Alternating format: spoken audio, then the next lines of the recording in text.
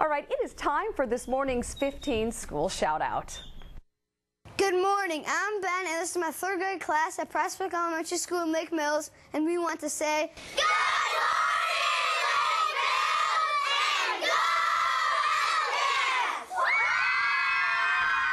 How cute were they? Uh, good morning to you too. Uh, Jason Rice, our photographer, and I went to this school last week, and I'm not kidding you. They were so spirited. They were so much fun and so excited. And we just wanted to thank you so much for inviting us out. And then they made us a, a big thank you card to NBC 15, sent it with all of their names inside. So, you know, that just shows how spirited and how exciting it was. And we were happy to be there.